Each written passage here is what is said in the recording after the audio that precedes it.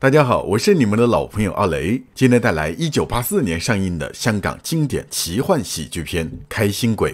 原本小花一行打算趁着假期找个人烟稀少、不会被打扰的小岛露营，可却没想到隔壁学校的几个饥渴男为了追求小花，硬是跟了过来，使得岛上的清静遭到严重破坏。众女子虽然对此十分不满，但没办法，小花的魅力是有目共睹的。对于这种事，他们也不好责怪小花什么。为了吸引小花的注意，饥渴男中的情歌王子越南唱了一晚上的情歌。小花虽然对越南有些动心，但因为脸皮比较薄，没好意思表露出来。此时天上突降大雨，由于众女子只准备了一顶帐篷，所以很难靠它躲过这场雨。对面的饥渴男虽然帐篷充足，但谁都没好意思过去借。思考再三后，众女子决定躲进附近的破庙。这间破庙虽然残破的不像样，但所幸漏雨的地方比较少，因此不管是避雨还是过夜都不成问题。没过多久，饥渴男们就跟到了这里。为了让小花一伙人主动投怀送抱，越南故意讲起了鬼故事。众女子虽然猜到了越南的想法，但是无奈鬼故事的杀伤力远比想象中要可怕的多。幸好此时窜出了几只老鼠，让一众男生原形毕露。见此，青青便决定以其人之道还治其人之身，主动讲起鬼故事，甚至还想到了假装被鬼上身这种办法来吓唬男生。接着，青青又与同伴们配合演戏，谎称众男子身边出现了第六个人，吓得男生们慌忙逃离小岛。男生们走后没多久，大雨便停止了倾泻，众女子得以离开小岛，返回城市之中。由于青青连续玩了一个星期，所以作业基本没动。不过还好，她有校工帮忙代劳。校工的丈夫在跟校工打招呼时，意外在青青的房间里发现了一条会动的绳子。可是当他想将此事告知校工时，绳子却又失去了超能力，变回了普通绳子。夜里，绳子再次开始乱动，并且还爬到了青青的身上。青青此刻正处于熟睡状态，所以下意识地拨开了绳子，导致绳子里的灵体被意外赶了出来。灵体的外表是一位清朝男鬼，该男鬼的思想比较封建保守，可被逗醒的青青却把男鬼当成了变态。还好男鬼跑得快，同伴们并未看到男鬼，所以便没有把青青的描述放在心上，认为青青只是做梦。没过多久，男鬼就再次现身，面对一脸惊恐的青青，男鬼决定坦诚相告，主动说明了自己的身份。就像青青所看到的那样，男鬼并不是人类。清朝时期，有个名叫朱纯才的读书人，因为考试多次落榜，气走了妻子，在极度的绝望之下，纯才选择了自我了断。由于他的自尽方式是上吊，所以导致死后灵魂依附在了上吊所用的绳子上面。而这个朱纯才正是眼前的清朝男鬼。青青一伙人上次用来避雨的破庙，则是纯才的轻生场所。离开小岛前，青青为了打包随身行李，顺手拿走了春才用来上吊的绳子，导致春才被一同带到城里。而那群男生之所以被吓走，其实也是因为发现了春才的存在。由于纯才不太习惯现代人类社会，所以他希望青青能把他送回去。青青告诉纯才，学校最近在搞运动会，他抽不出时间，估计得等一阵子。纯才听后便只好暂时留在宿舍里。由于宿舍实在太无聊，春才竟偷偷跟到了学校更衣室。青青现在在忙，没空跟纯才闲扯，所以只能将纯才赶走。没过多久，一名敌社女生突然跑过来向青青挑衅，甚至还随手拿过灵魂绳充当跳绳，用来展示自己的实力。青青是红棉社的主将，所以敌社人士基本都看不惯她。除了与纯才通灵过的青青以外，其他人都看不到纯才，所以纯才才可以随意在运动场上走动。不过，在面对没有见过的庞然大物时，纯才还是感到无所适从。敌对女生实力远超青青，并且还在无意中伤到了春才，所以春才决定报复，故意在比赛时捣乱。只是没想到，即便是晚出发，再加上摔倒，敌社女生还是获得了第一名。见此，春才只能改变战术，在捣乱的同时帮助青青。通过春才的帮助，红棉社渐渐将积分追平，甚至青青还在春才的帮助下数次打破世界纪录。反观敌社女生，却在不断的刷新最差成绩。最后的接力赛上，纯才通过更换敌社的接力棒，再加上死死抓住敌社女生不放，终于让青青以微弱的优势险胜敌社，拿到了全校冠军。经过此事后，青青与纯才的关系明显好了不少，甚至青青还希望纯才留在这里，和他当一辈子的朋友。可问题是，人鬼并非同类，而且万一发生感情的话，那双方最后肯定是悲剧收尾。不过，在青青的保证和彩虹屁下，纯才最终还是同意留在青青的身边。某天，小花和颜如玉偶然发现青青在房里跟人说话，因此猜测青青新交了男友。在两人的逼迫下，青青不得已只得要求纯才现身。纯才本不想再与其他人接触，但在青青的威胁下，只能选择妥协。小花和颜如玉看到春才身穿清朝官服，误以为春才是戏子或者白痴。春才无奈，只能当场施展飞头术，谁知却因此将三女吓晕。之前孝公的丈夫在无意中听到了小花和颜如玉的谈话，为了解开绳子会动这一谜团，他偷偷来到了宿舍窗外，准备一探究竟。不过却先一步被春才发现，在春才的吓唬下，孝公丈夫也晕了过去。通过青青的讲述，小花和颜如玉终于知道，上次青青带领红棉社拿下校园运动会冠军，全是纯才的功劳。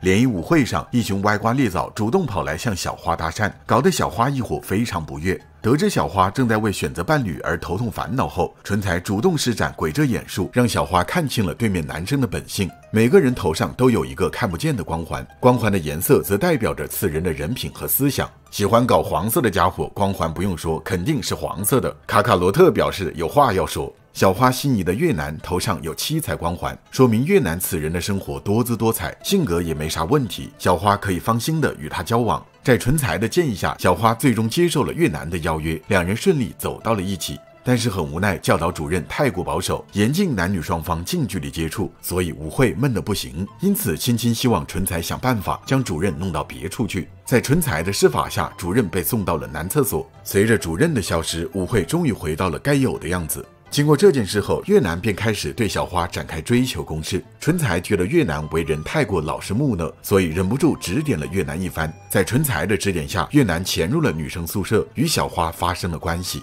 某天，主任在上课时偶然发现了小花写给越南的情书。由于看不懂情书内容，主任狠狠地批评了小花一顿。青青见此，忍不住拿粉笔教训主任，可却没想到，因为教训次数过多，导致被主任抓到。为了报仇，主任决定以同等方式来对待青青。可无奈青青有唇彩保护，因此无论教导主任怎么做，青青都吃不到半点亏。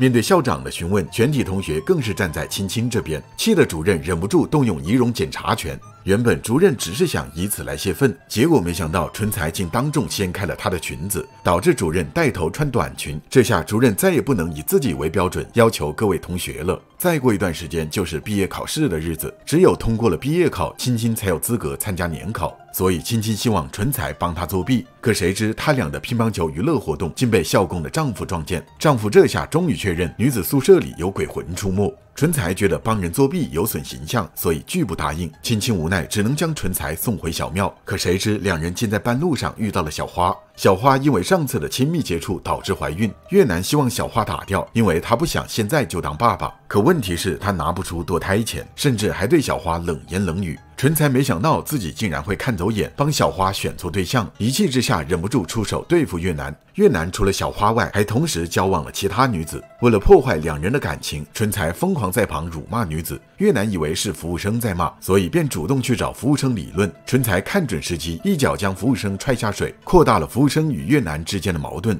接着，纯才又借用越南的手戏弄女子，导致越南被挂上了色狼的标签。纯才觉得越南也许还有救，所以便主动现身，称自己是小花的守护神、开心鬼。如果越南敢抛弃小花，那他的下场绝不会好。面对纯才的威逼，越南只得下跪求饶，搞得想报仇的服务生无法下手。颜如玉的兄弟姐妹太过优秀，而颜如玉自己却非常普通。虽然父亲表面安慰颜如玉书读得不好无所谓，但颜如玉很清楚父亲非常在意她的成绩，可她却并不是读书的料。所以这段时间里，颜如玉一直闷闷不乐。为了让纯才帮忙作弊，青青决定使出激将法，说纯才没有真材实料，就算是历史考试他都帮不上忙。听到这话，再加上青青的烧绳子威胁，纯才终于答应帮忙。利用减肥束腰为借口，青青成功将绳子带到了考场。有了这层保证，青青便不怕纯才反悔。可却没想到，第一道题就是清朝灭亡的原因。说这种话是要灭九族的，所以春才不但没有帮忙，甚至还在考场内闲逛。反正只要青青点火，主任就会注意到青青。颜如玉因为紧张过度，导致将预习的内容全部忘光。为了通过考试，颜如玉决定作弊偷看。纯才不想让颜如玉走邪路，所以忍不住与颜如玉争抢书本。谁知却意外引起了主任和校长的注意。就这样，颜如玉失去了考试的资格。青青因为不会答题，把自己的失败都归咎在了纯才的身上，甚至还说纯才读过的书都是狗屁。但其实纯才一开始就说过，现代人的考试内容和古代人的考试内容完全不一样。但青青却根本不管这些，因为觉得愧对父母，颜如玉决定一死了之。青青和小花不方便靠近颜如玉，因此只能向纯才求助。可却没想到，纯才这次并没有现身。孝公夫妻本想通过举报威胁劝颜如玉回头，可谁知却因此刺激到了颜如玉，导致颜如玉失足坠下楼，命悬一线。关键时刻，春才施展法术，利用气球救下了颜如玉，并且还通过气球将颜如玉带到了别处。孝公夫妻见此，立刻将此事通知给了主任。主任这下终于知道自己之前的神秘遭遇是因为遇到了鬼。另一边，纯才通过劝阻，终于让颜如玉放弃了轻生的念头。之前，纯才为了面子，一直谎称自己是榜眼，可实际上，他和颜如玉一样，都属于拼命读书却无法考出成绩的那一类。妻子为了供纯才读书，每天起早贪黑摆摊，还经常被色狼吃豆腐。父亲临死前最大的遗憾，就是没有亲眼看到纯才衣锦还乡的那天。考试连续十次失利后，妻子便开始瞧不上纯才，因此也就不再守身如玉。又失败了四次后，妻子还直接跟人跑了。这就是纯才轻生的原因。由于心中有气没有发泄，纯才死后并没有进入阴间，而是依托绳索成了孤魂野鬼。没有人比纯才更懂得轻生有多么无用，所以在他的劝导下，三女逐渐认清了自己的处境。在纯才的鼓励下，三女决定好好努力，不再依靠纯才来通过考试。只是没想到，教导主任一伙却出现在了宿舍里。为了驱除校内的鬼魂，主任一伙强行夺过绳子，并将三女赶出了宿舍。之前纯才捉弄过主任多次，所以主任便认为纯才是厉鬼，消灭厉鬼没什么不对。为了防止三女干扰驱魔仪式，主任还强迫三女跑步，消耗他们的时间。此时天上电闪雷鸣，并降下暴雨，这似乎是在预示着纯才将命不久矣。没过多久，宿舍里就传出了纯才的惨叫声。三女听后，终于忍不住冲进了宿舍，但是可惜驱魔仪式已经完成，纯才彻底告别了这个世界。自尽绳和纯才命连一线，如果他被烧毁，纯才自然也会跟着一同毁灭。可就在此时，宿舍里突然刮起了一阵阴风，很快纯才便再次现身。原来绳子和纯才并非绝对命连一线，也许纯才从一开始就搞错了，又或者是因为心中的怨气得到抒发，改变了纯才孤魂野鬼的身份，所以春才侥幸逃过一劫。自从与三女接触后，春才想通了很多事。当人比当鬼要好得多，可以尽情追逐自己的梦想。有得有失才叫人生，没有烦恼的人生只存在于幻想之中。为了重新获得进入地府的资格，春才特意拜托三女帮忙把他运到指定的地点。主任不明真相，以为三女深夜晾衣是受惊过度所致，愧疚之下决定给三女补考的机会。